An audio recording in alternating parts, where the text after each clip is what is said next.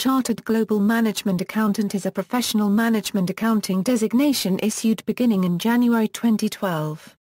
The CGMA mission is to promote the science of management accounting on the global stage. The CMGA designation champions management accountants and the value they add to organizations. Chartered Global Management Accountant, a proprietary designation for management accountants, is powered by two of the World Euro unregistered trademark S most respected accounting bodies, and advances the global discipline of management accounting.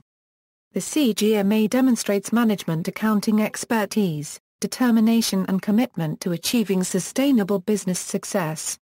The issuing body is a joint venture owned by the American Institute of Certified Public Accountants and the Chartered Institute of Management Accountants.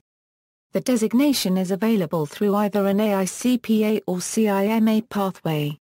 The AICPA pathway requires AICPA members to be CPAs, pass the CGMA exam, have three years management accounting experience, and be a member of the AICPA.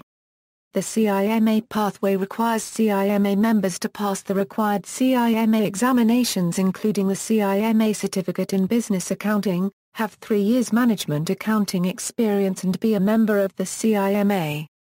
Beginning in 2015, AICPA voting members who seek to obtain the CGMA credential will have to pass a new examination.